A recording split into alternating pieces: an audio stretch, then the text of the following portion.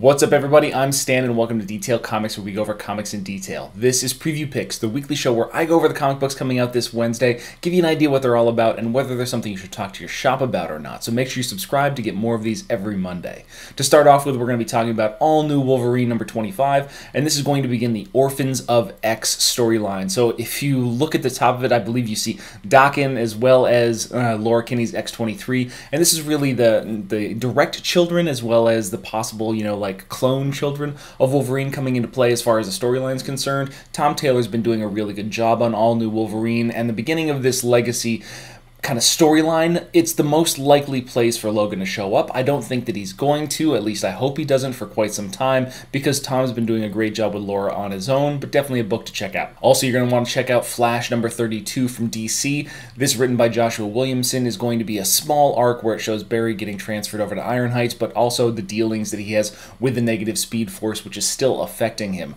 At, uh, you know, in issue number 33, we're going to jump into a Bats Out of Hell crossover where he fights the Red Death. So this is going to be a single one shot that's going to provide setup for the arc that's going to be coming after the Dark Nights Metal tie-in.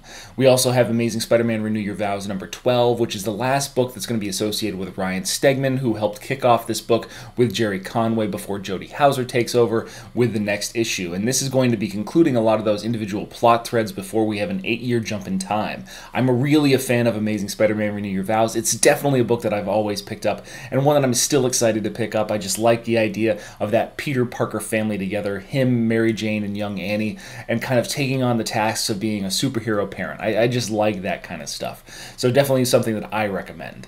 Uh, another one that I'm going to recommend, Wonder Woman number 32, which is the Children of the Gods storyline introduced by James Robinson. Overall, very good first issue. We get to see Darkseid growing up for some reason. So it's definitely something that you're going to want to check out if you're a Wonder Woman fan or if you're looking for some more development in the Darkseid storyline or just you know, you want a good book overall. It seems like it's going to be a good place for people to be if they want to read a great story. Another book to check out is going to be Defenders number six, and don't be fooled by Deadpool on the cover. Even without, uh, you know, Wade Wilson in the in the book, Defenders has been actually a really good story being told by Brian Michael Bendis about Luke Cage, Jessica Jones, Iron Fist, and all those kind of guys. So it's just one of those things where the Defenders is it's been solid, and I feel like this is a book that Brian Michael Bendis wants to write, which is when he writes his best.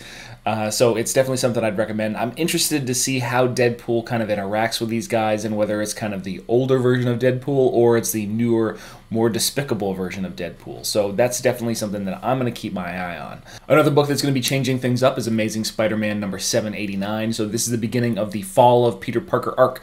So not only is Spider-Man a menace, but also Peter is because his company is in shambles, has been destroyed by, you know, uh, Otto Octavius in his brand new revised Dr. Octopus kind of scenario.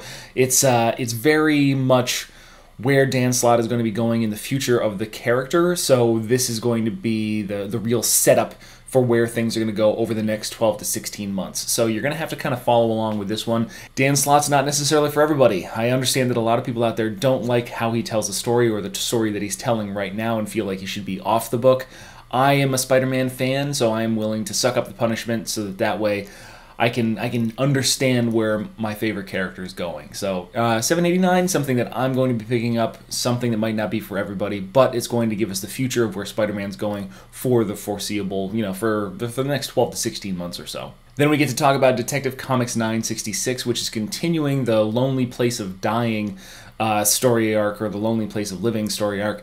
And when we last saw Tim Drake escaping from the prison that Oz held him in, which turned out to be Jor-El, you know, the father of Superman, we actually have him meeting with somebody else, a particular Batman, and uh, it's just a really great story. You got to read Detective Comics 966, and because you have to read Detective Comics 966, you also have to read Action Comics 989. Because in Action Comics 989, we are dealing with the heart of the Oz issue.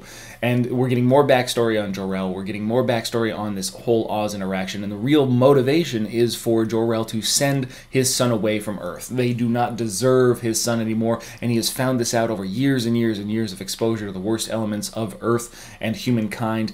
And uh, it's just a really interesting kind of perspective. We running we're running these dual parallel storylines where you've got you know Superman confronted with the actual Oz character and Tim Drake trying to escape the prison that he's been kept in for so long by Oz. If you're talking about two can't miss books from DC right now, Action Comics 989 and the series that it's going through, as well as Detective Comics 966, both fall into the can't miss category.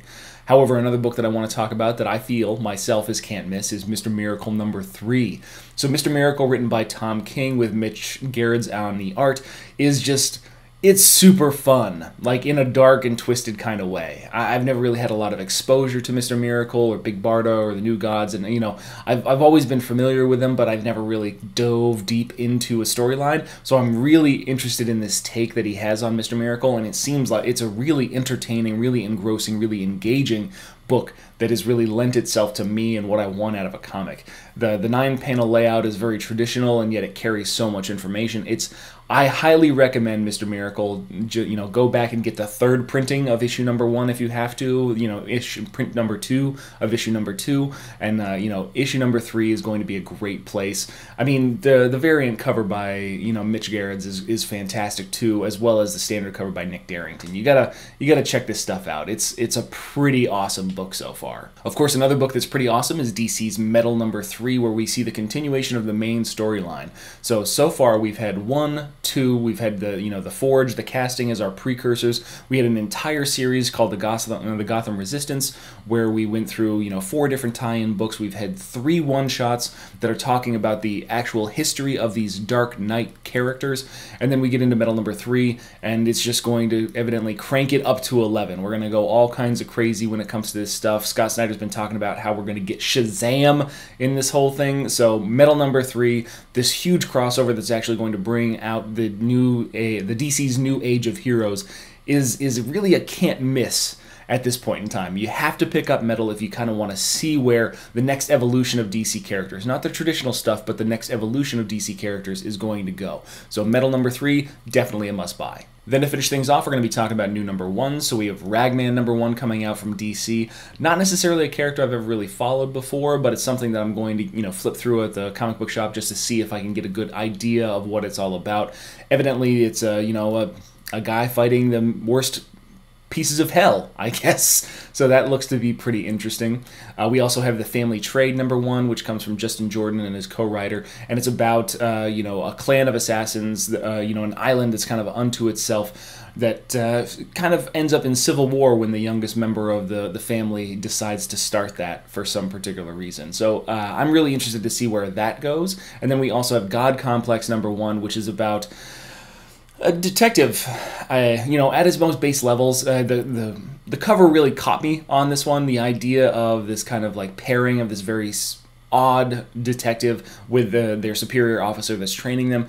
It definitely seems a re- like a really appealing kind of story. It looks really cool, so I'm going to have to at least pick it up off the shelf and give it a quick read. Of course, the last number one that I want to talk about is Falcon number one, which shows Sam Wilson going back to his original Falcon garb and becoming the hero that he's meant to be. You know, he was a fantastic Captain America. You know, he really had a, a presence, a, a gravitas. He had uh, a lot of stature when it came to that character. But after reading Generations, Captain America, Sam Wilson, and Steve Rogers, you can see how he has lived an entire life inspiring other people without having to be Captain America. Now that he has moved out of that shadow of the Captain America moniker and become his own character, I can see why he would move back to the Falcon name. So, uh, definitely something that I'm going to check out simply because it, it looks to be a good development for the character, and I want to see where it goes from here.